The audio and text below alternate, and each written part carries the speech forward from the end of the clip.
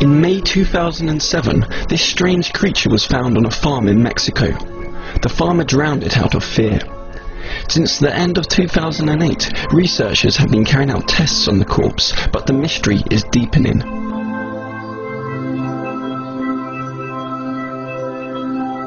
Even serious scientists are wondering if this creature comes from another planet.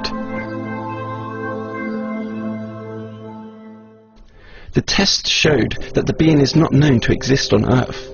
Its body has characteristics of both lizards and humans. It also has a large brain, a sign that it was probably highly intelligent.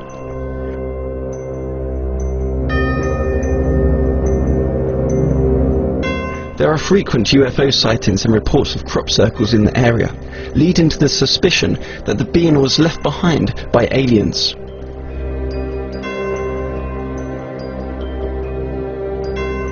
Farmers also reported seeing a second creature flee the scene.